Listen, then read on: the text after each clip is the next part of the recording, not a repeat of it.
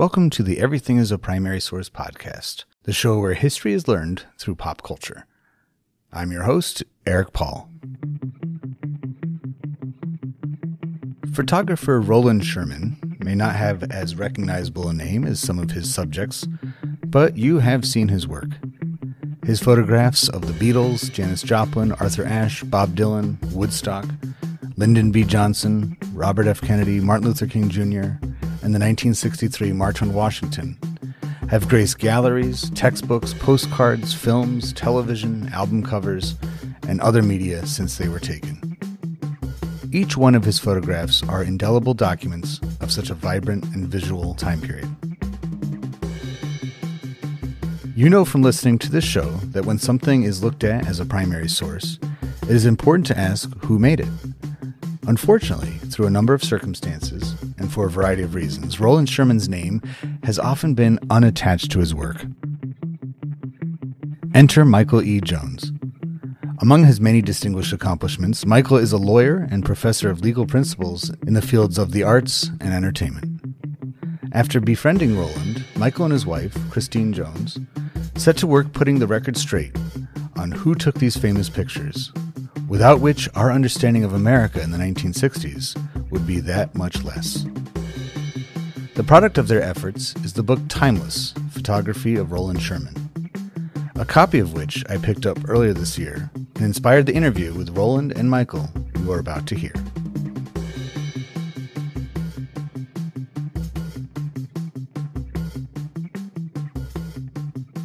Um, so, the first idea that I want to bring in front of you is the relationship between law, government, and the role in the arts, particularly for photography. So, Rowland, you were saying that you, depending on who is giving you the employment, you know, to to take photographs, that there is a bit of a trade-off that you had to do with your intellectual property um, that took place.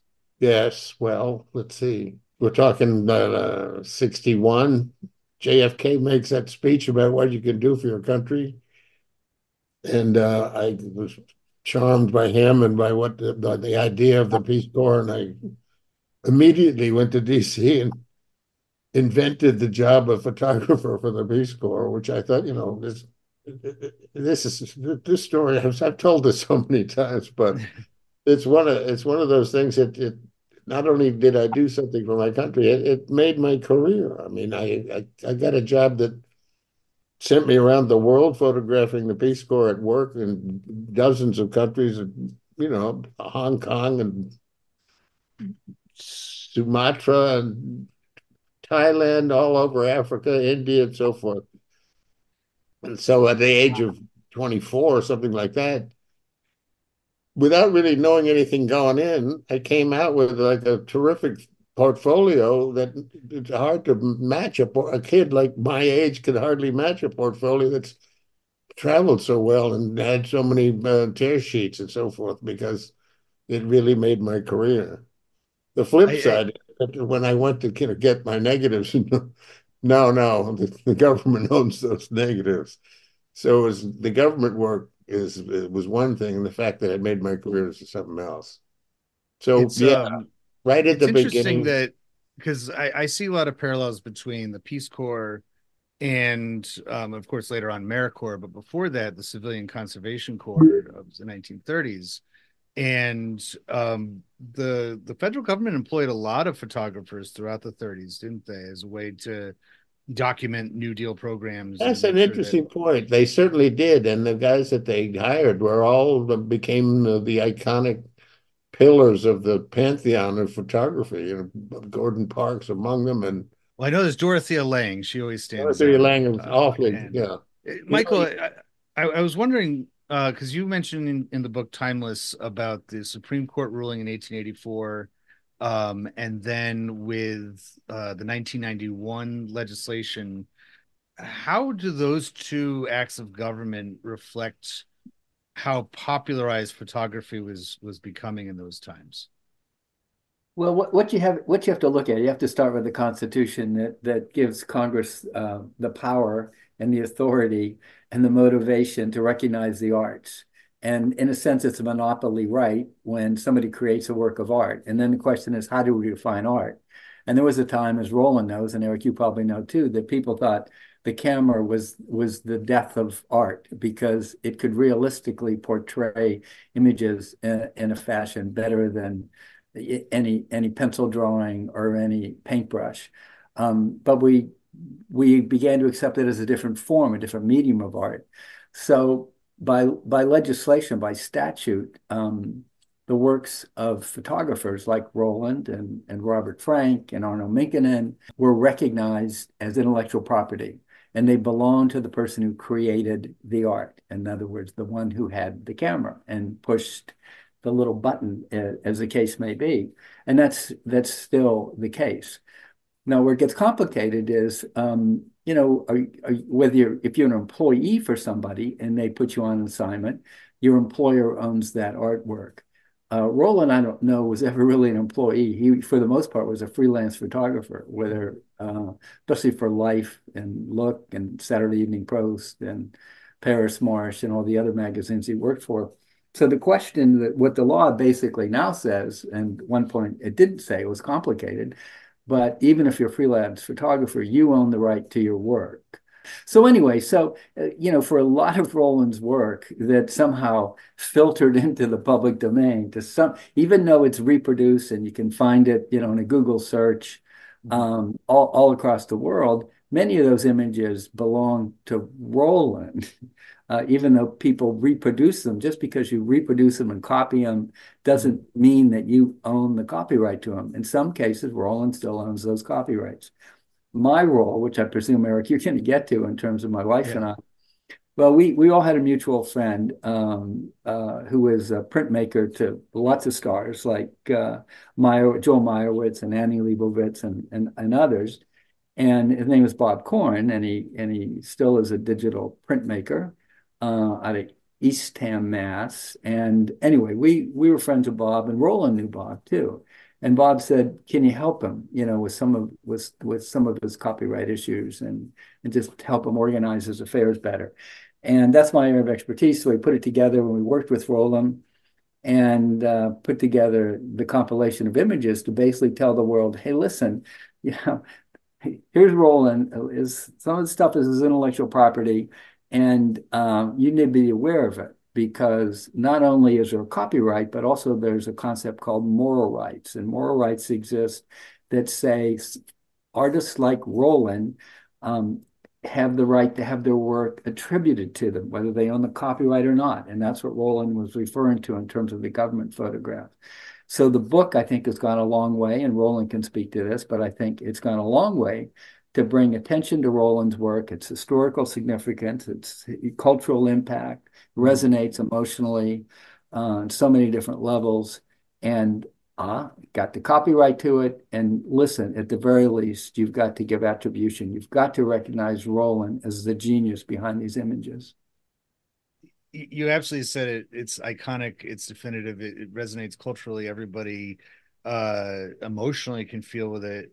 Rowland in the i in the 60s documentary that was made just over 10 years ago uh you mentioned that you see light shining out of people. Um what was it about the era the, the 60s in particular that brought to you that that such a profound thought? It's a, facile way of seeing saying that i'm i'm a pretty good portraitist and and I it's what I do, but the feedback I'm getting from the people I photograph said, "You've really captured me. That's really the way I see myself too. This is how did you do that? You know." So, and I came up with a phrase that, that some people have light shining out of them, and it's a gift. And I'm really thank goodness for for this gift that I I get to see it a lot of times. I think the other gift that that Rowland sometimes undersells, um, he can be cantankerous and difficult to work with on occasion. However, he he's charming in many ways, and I think he relates to people, and I think people trust Rowland.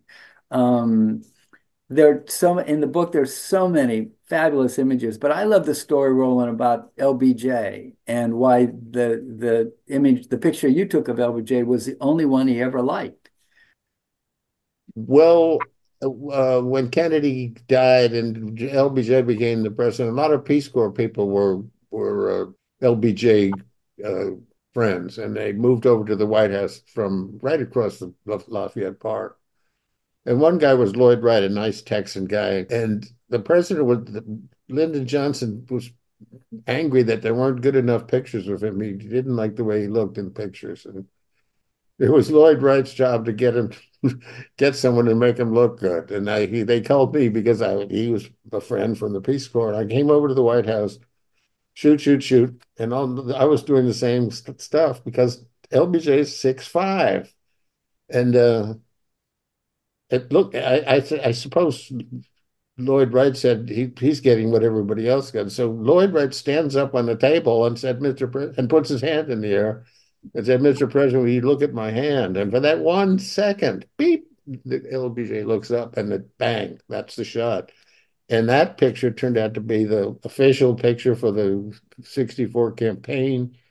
It was it was blown up to an immense size, maybe the biggest photo ever made at the at the convention, like 50 feet by 60 feet, you know, huge blow up.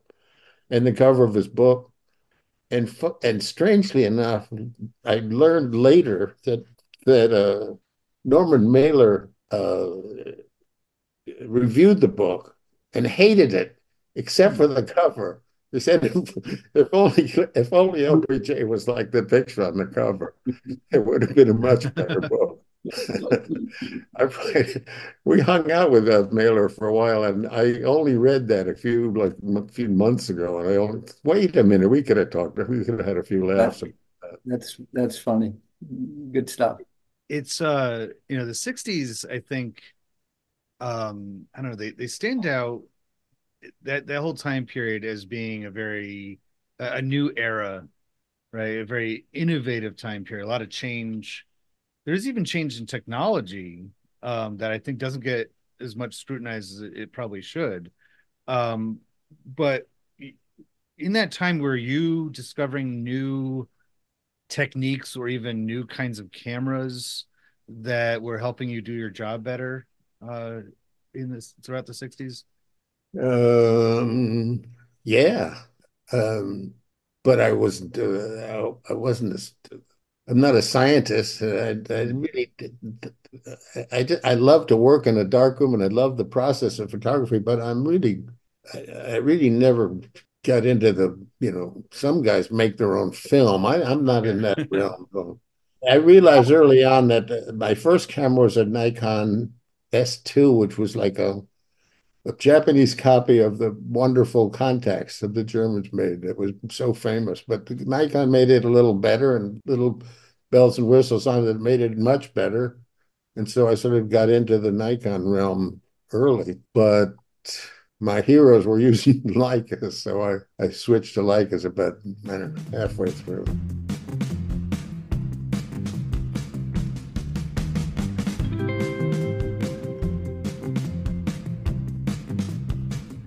I think with each of the different, you know, I think of the movies, the the television shows, the, the literature, the fashion, and of course music from the 60s that there was a lot of people just like you who uh, I suppose you know you could show the the Beatles that their amplifiers and their guitars were getting more advanced, but they weren't really too concerned with that.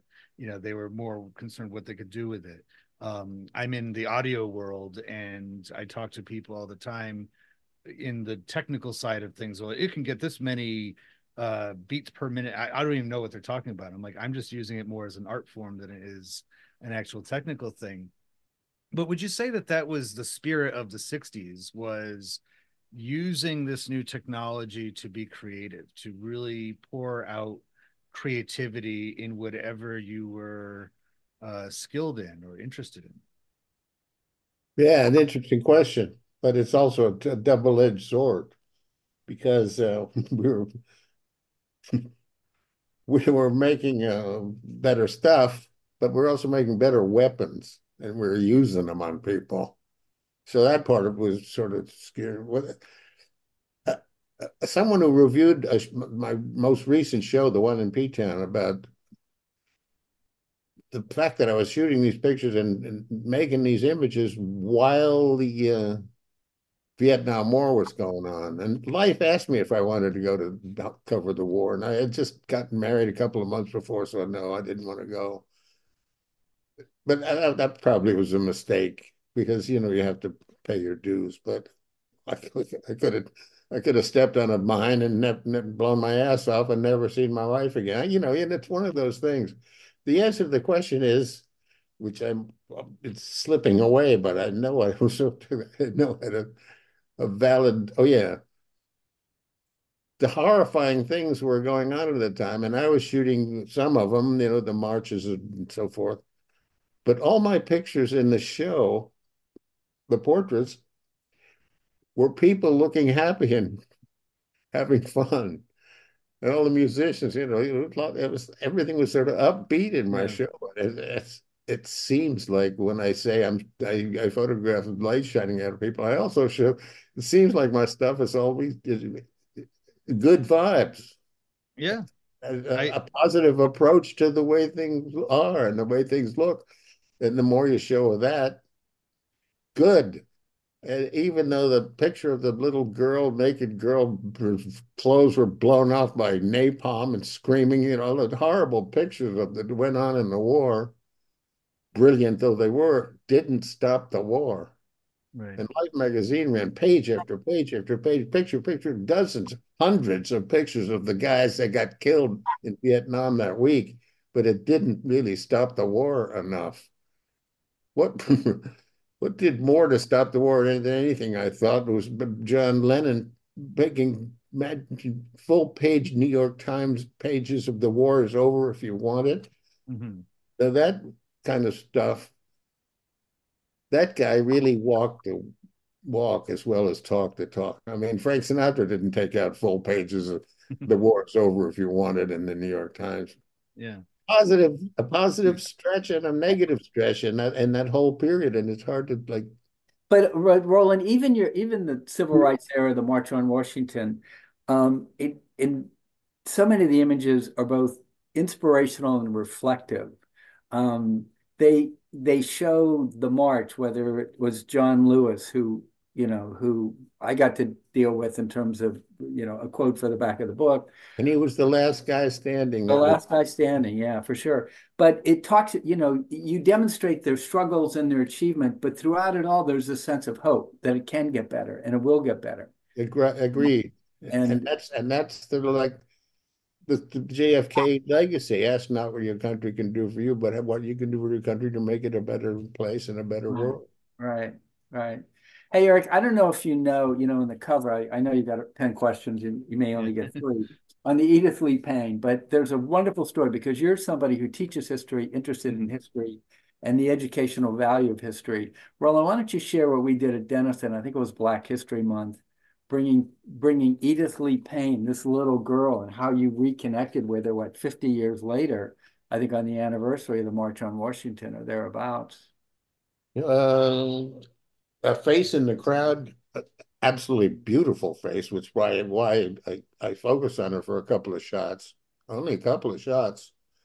And then when we edited the book, what's going to be the cover? It turned out to be her, and I think it it's that that we made a we made a pretty good choice. That picture mm-hmm. she's become the poster child for the march now. It was. Yeah. She's, when she's in D.C., the the park rangers want to get her to to pose with them rather than the the, the tourists want to get their pictures taken with park rangers. The park rangers want to get their picture taken with Edith Lee Payne. This picture's on buses, it's on flags, it's all over DC when the when that kind of stuff is going on, and we were very proud of it. Edith Lee Payne herself has remained committed to the, the words of Dr. King as well and as wisely as anybody there has has ever done. And uh, we we all got to be pals uh, because at the 50th anniversary of the march, uh, the BBC found out who she was and found out who took the picture and got us together to be together at the march. And we've been pals ever since. Uh, email, visited her in Detroit sometimes. The name of my podcast says exactly my point of view on things. Everything is a primary source. Everything is a document. And so just in that story. We have several, right? Like you documenting on August 28th, 1963. And then Michael, when you're sorting out the book, saying we're going to have the beginning and the end, you know, being bookended by the same story of two people meeting but not meeting in 1963 and then reuniting. And the setting itself, the National Mall, in the the shadow of Abraham Lincoln, and you know everything about the March on Washington was intentional and symbolic, and you know just the I I spend most of a class period with my class with my students going through that. You know, where did they put the speaker stage? Where did the march actually go? Constitution Avenue, Independence Avenue and where did it meet? Why not the Capitol steps? Why at Lincoln Memorial? What's the symbolism there? Um, and even just the the photograph itself, it you know the the pennant that she's holding indicates, I think, the same spirit of what you were doing there, in that it's a commemorative pennant. Pennant. It says, "I was there at the Lincoln Memorial for the March for Jobs and Freedom." and that's what you were doing there. That's why you were taking the pictures because your your audience wasn't necessarily the newspapers and the magazines in the 60s it was meant for all time correct?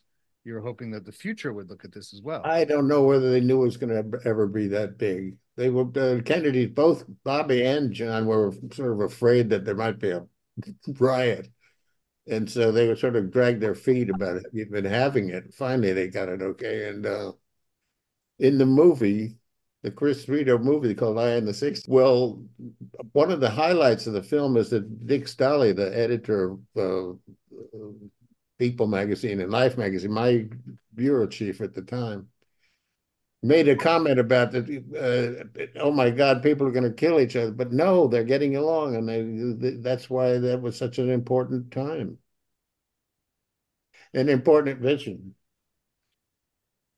So, Michael, you've touched on this a little bit uh, already, but what motivated you to create the book itself? Was it the place of the same the same place as the Eye in the '60s uh, documentary was made a few years earlier? It it uh, no the the movie had absolutely no influence. So I I for the most part live a couple of different lives. The, athletic life I you know had some you know pretty serious athletic achievements over my life, but art I live in the world of art. You know I study art. I've got more degrees than probably anybody you've ever met, and uh, uh, and I know a lot about art and artists and intellectual property.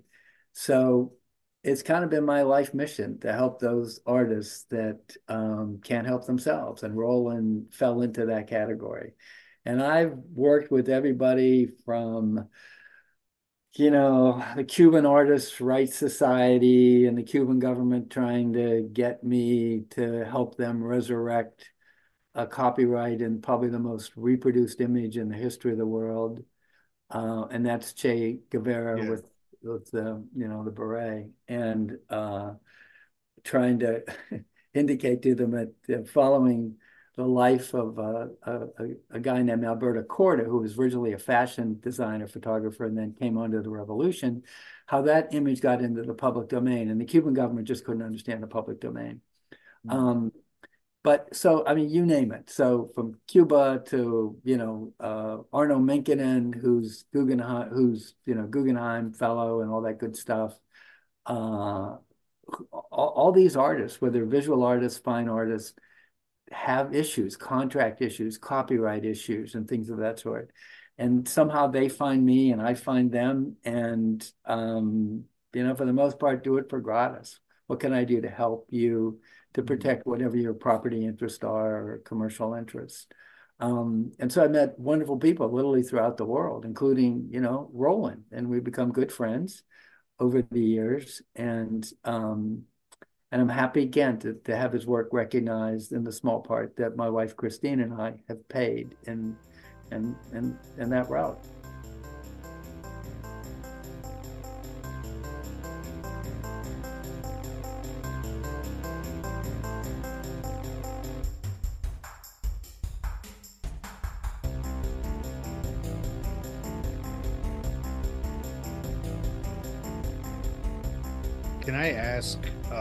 Between the two of you, how did you settle on these 70 odd pictures? I mean, there's thousands. What was... We're going to have two different versions of this. Go ahead, Rowland. well, no, I'm, I'm going to let you go ahead. Okay. There's a lot right. of funny. There's a lot of funny uh, there's side, side clips on this book, but. Yeah. Yeah, well, Rowland, Rowland probably realizes that weren't for my wife Christine, this book would have never happened because we would have Rowland over to our house with something to eat and drink and chat, and you know we would pick. He would pick out these are the particular images. This is the story we want to tell. This is the chronology or whatever whatever it was, and then next week he would come and he would say, "Well, who picked out these seventy images?" And I said, Rowland, you did. Oh, I would never have picked these 70. And this back and forth all the time. And it was my wife, Christine, that says, no, no, no, no, we're going to keep working this thing. I was ready to drop kick the whole project out. But um, that's just part of who Rowland is and how you have to learn to roll with him. Uh, it's also his strength, too, at the same time. Well, uh, your son. My, my point of view, Christine and and Michael were, were editing this book with scissors and, and tape.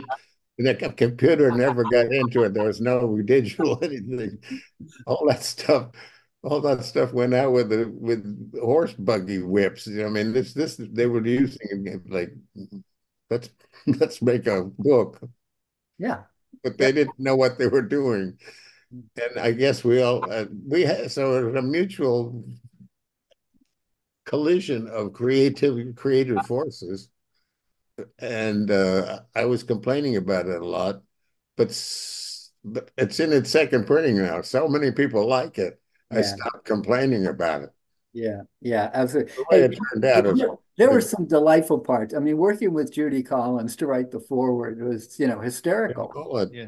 and um, you know the blurbs i mean john lewis congressman lewis the late congressman lewis i i can't tell you um, how emotional he was, how thankful he was for Rowland, for Rowland's work in in capturing, you know, that whole movement and the and the historical aspect and uh, the the classy way that he depicted, you know, everything that took place. Um, Is that you that got uh, John yeah, Lewis to do the blurb on the back? It was me. Yeah my compliments because I got to meet him and and uh, we hit it off. He is a he was a wonderful guy to hang around and yeah, absolutely. Yeah. So me. So you know, I, I mentioned before. I mentioned both of you that you know my parents are they're of that generation. They grew up in the '60s. They were teenagers in the '60s when I shared this book with them recently, they loved it. They were just so happy to look at it, and it brought back so many memories and gave us each opportunities to talk about what do you remember of these things. You know what what and you know over the years they've shared, you know when it when things come up, you know where they were when different things happened and, and so forth. But um was that I, I know that it, it was mas- mostly to get Rowland the proper recognition for his work but was there any part of uh, this for memory, memorializing nostalgia for an era? Uh, did that factor in at all to to making the book, um, and maybe even preserving it for future generations in any way? Every photographer I've ever known wants a book, and I mean, some guys do like thirty books, but all all guys who make images, in fact, most artists would like to have their stuff blast and have a wider, widest possible audience as can. And then book is a terrific way to do it. I was, I, you know, made a couple of books of my own in the past, but this was a, like a retrospective of my work, and I'm really, uh, really, really happy to have it. Yeah, I think the book reflects the arc of living history, of Rowland's living history with the historical events and cultural events and social events that took place during that time. And Rowland, I mean, you got to talk about the Beatles. You talk about iconic cultural events, and uh, uh, and how. Well, yeah, the people keep saying I'm the Forrest Gump of photography. I always show up in the places where you know all of a sudden something magic is happening, and I was just just lucked out.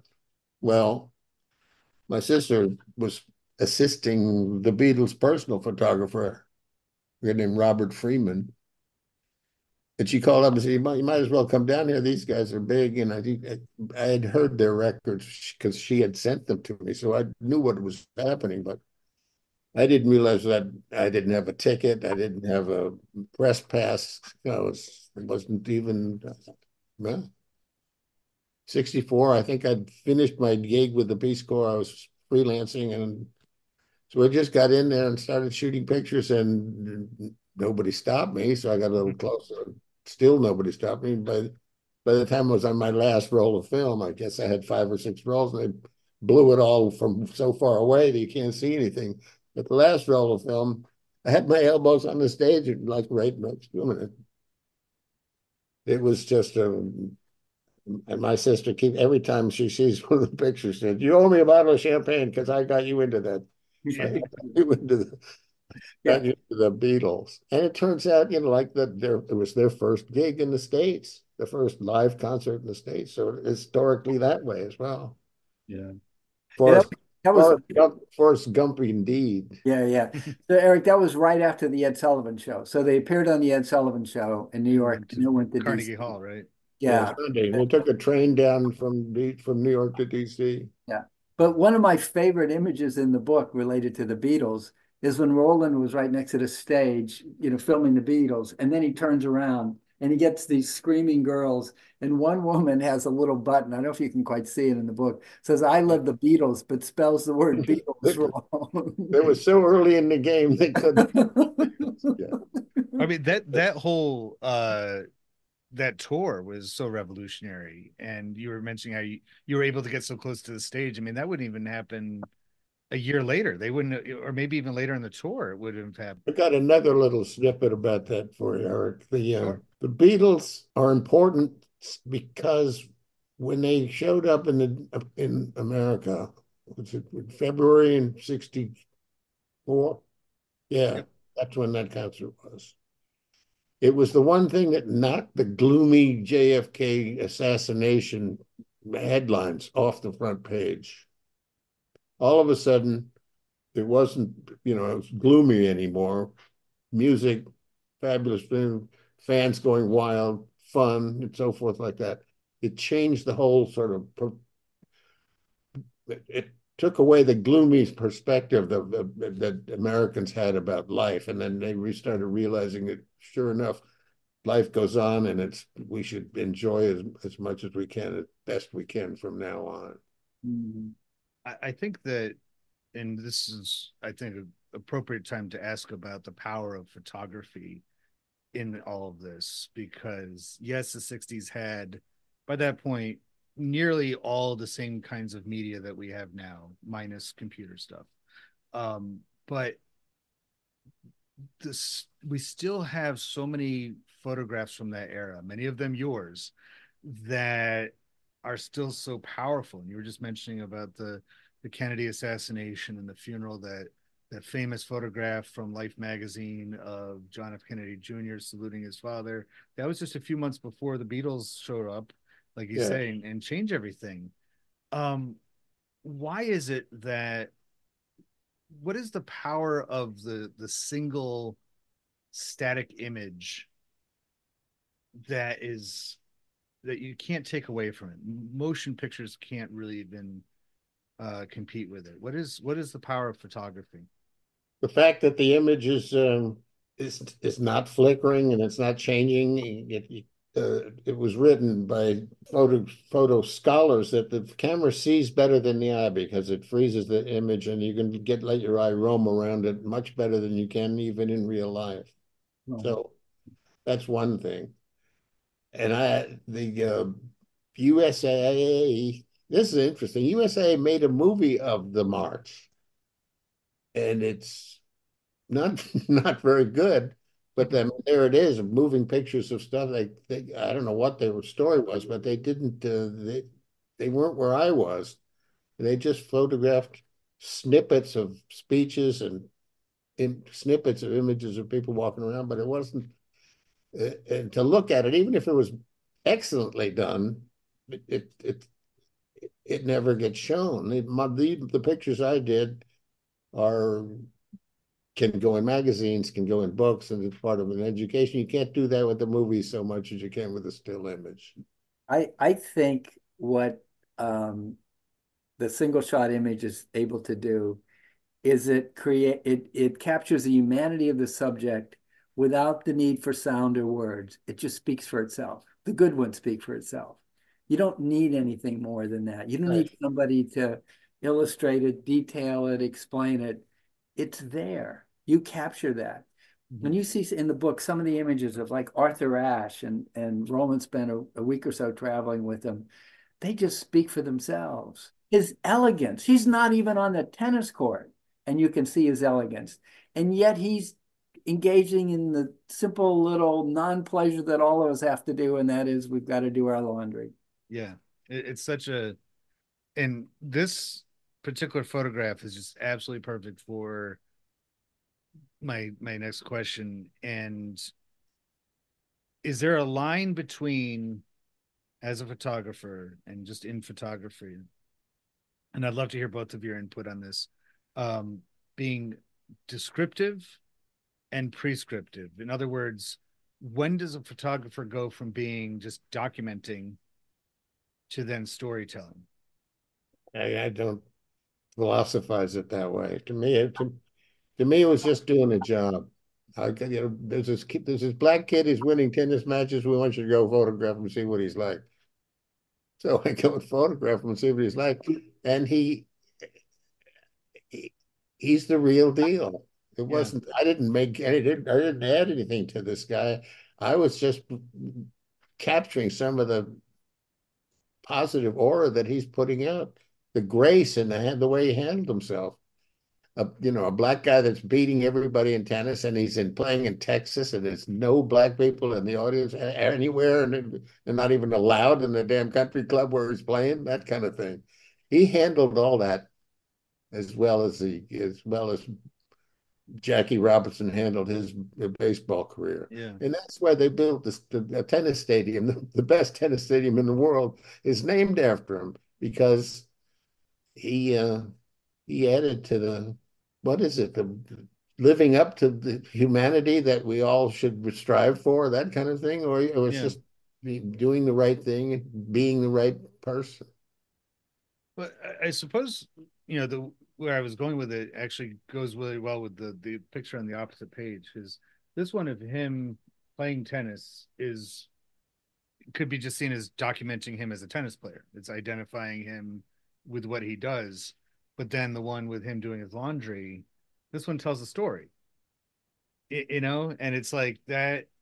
It's funny you should pick out that that that that spread because sport photography is damned hard and I watched him play tennis for hours and hours. And I, that might be one of the three any good picture.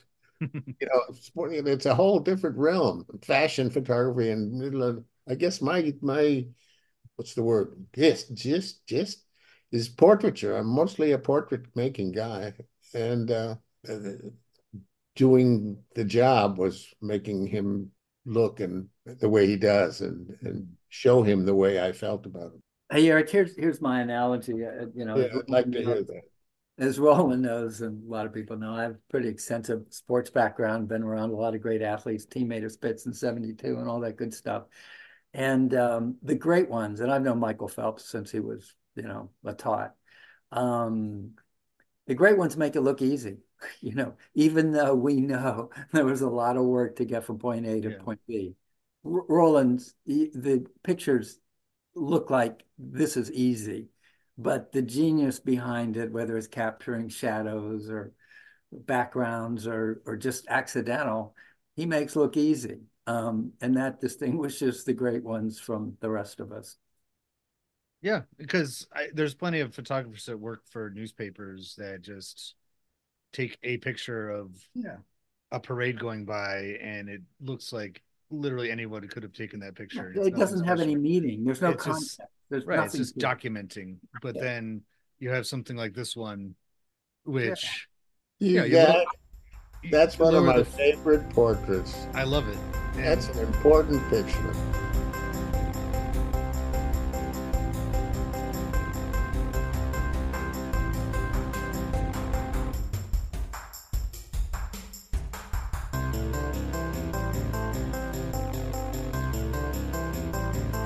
you know, you just lower the the viewfinder a little bit. One one snap, totally different picture. Not click click click click and get a thing. But just passing through, there he is. I knew he was the guy that whose idea it was. You got to get a picture of him. You know, you're covering it for USIA.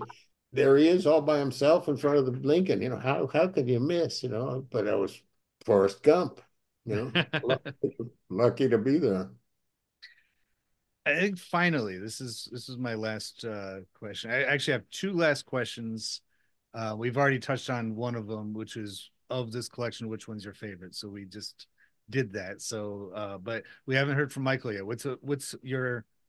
Mine is Arthur Ashe doing his laundry. Rowland's is of uh, a Philip Randolph in front of Lincoln. Yeah. Do you have a favorite, Michael, of of this collection? Yeah, I I, you know, maybe maybe two, uh, and I'll tell you a little bit about Arthur Ashe. We got to meet uh, Arthur's uh, wife. Uh, Rowland knew her beforehand, but Christine and I did when we had a, an opening, uh, actually with the associated with the book at the Leica Gallery in New York City. That may not be the right name, but we got to meet her and her kids. And in one of my teaching gigs, I, I think it was at Bentley University I had uh, a, a, one or two students, and Arthur was their uh, uh, not official grandparent, but Arthur helped raise them, the Ashe family. So you know, it's one of those full circle kinds of things that gives more meaning to it, and as an athlete, can appreciate you know what it takes to become great but maybe the Edith Lee Payne, you know, uh, the cover one is just mm. because there's so much history. Well, we we started talking about historical events, and so um, after Edith and Rowland got together on the anniversary, uh, which was the last image in the book. Um, I think it was Black History Month at Denison University, Granville, Ohio, where I graduated, and lots of other family members. Um, we we had a sort of a civil rights showing, and Edith came and and you know talked about her life and and what what what what all this meant to her and Rowland did and we had the Black Students Union and all kind of administrators and faculty and students. Fabulous event. Rowland spoke to classes. I think I spoke to one of the classes too. Um, and that that stuff resonates. It just it gives meaning to everything. So I would say this is it. Yeah. I, I guess it was kind of a silly question on my part because since you edited this and you selected that for the cover. That would be your favorite, if yeah. any any of the other ones. Um, my my last question is: Would our understanding as a society of the 1960s be complete without the photography of Rowland? Where do these photographs land among all the other documentation of that time period? I wouldn't go far as to say that. I I had more pictures in Life magazine in the last couple of years of the 60s. but a lot of them were like Senator Schmiercase shaking hands with 16 left-handed Boy Scouts from Des Moines or something like that. A lot of the stuff, you know, it wasn't earth-shattering stuff. You're just doing a job. You're a freelance. You're as good as your last job, and you know they call up and you.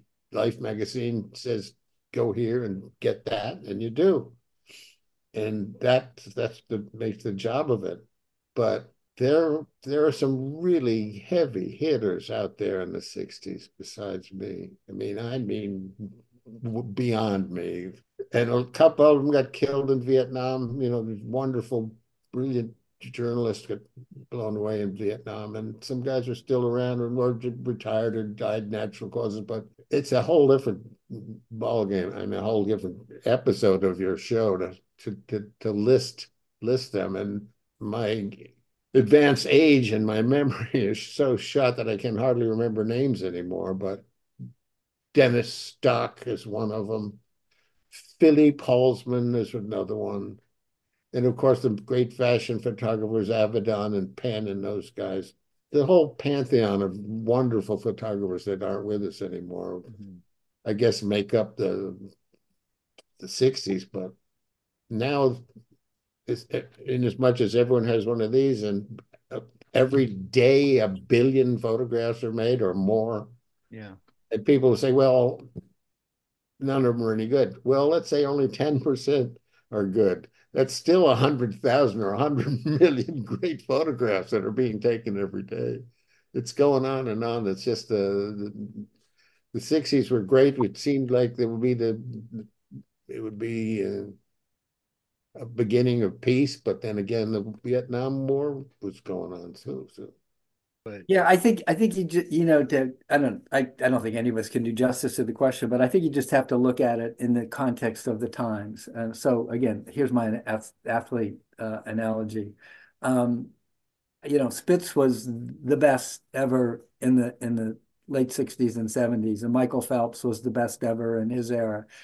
But there are plenty of other great athletes um, that were just a millisecond behind both of them. Yeah. Some of it are just accidents of history, to be honest with you. I mean, Spitz fell on his face in 68, um, thought he'd never come back in 72, won his first race, got his confidence, and then won six more.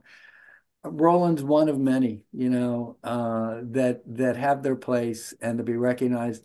And I, you know, I I do I don't even get a hold of Rowland every time we see his work someplace, but my wife and I, we travel a lot, get a lot of museums, and there are plenty of museums where when they have photography exhibits, that we see Rowland's work on the wall, and and that probably speaks for itself. And so, and the fact that you and your students recognize and your parents recognize the value, that that's that's what's important. It doesn't matter where he fits on the list. He's yeah, he's good, great for what he what he did and when he did it and how he did it. I, suppose that's just uh, my awkward way of saying that he, and to to end as we started, he did do these things. These are his photographs, and if he hadn't taken them, yeah, we would be without that many. We'd have that fewer documents of an era that was so visual. Yeah, that we we need so many uh, uh, artifacts to to piece together from. So there were a lot of guys shooting besides me, but apparently what they all wanted was to get pictures of Martin Luther King. They didn't seem to think there was, you know, the faces in the crowd or things. Some did, some didn't. I had a little bad said official photographer, March on Washington. I could go anywhere. I had this unbelievable access to anything. I went up to the top of the uh, uh, Lincoln Memorial and shot that snap there were guys whose position was there, and that's the only place they were that whole day. You know, and that was just I had uh, the entree of a lifetime. It's I I could just hang out with with the, the movie stars, you know, shoot in their faces. I could go anywhere, do anything. I, it was a gift. I should have paid them to make me do it. but I was a hungry, young, ambitious photographer, and I worked my tail off that day. And and I, I I didn't know it was going to be that big, but once I saw that it was and that important, I worked extra hard. And I worked from like eight in the morning to eight at night and did the whole thing, never stopped. Didn't stop for lunch, nothing. Shoot, shoot, shoot, shoot, shoot, climb, climb, walk, walk, shoot, shoot. Well, turned out the way it turned out. I was gift. I was a gift. Well, we appreciate the gift that you gave us. So well, thanks uh, for having us on. Yeah, no, it, has been a wonderful time talking with you, and uh, and you know, this is, I think, a, a wonderful way to end the the season of my podcast where we talk primary sources. That's what it's all about. So thank you again. Thank you, Eric. Appreciate it. What a way to cap off season three of the Everything is a Primary Source podcast. It was an absolute honor and pleasure to speak with both Rowland and Michael, two makers and stewards of historical documents. Season 3 has been a great one for the EPS podcast. This show began as an extension of my classroom method, but has since transformed into an oral history recording platform and now an open source collaborative hub for students and teachers. Be sure to visit everything history.com to learn how you can take part in learning and teaching history through pop culture. I post regularly on Instagram, even between seasons, so make sure you search everything as a primary source and follow the program there. We'll be back with even more of your reactions to and relationships with artifacts of everyday life in a few months. But until then, this has been the EPS podcast where everything is a primary source.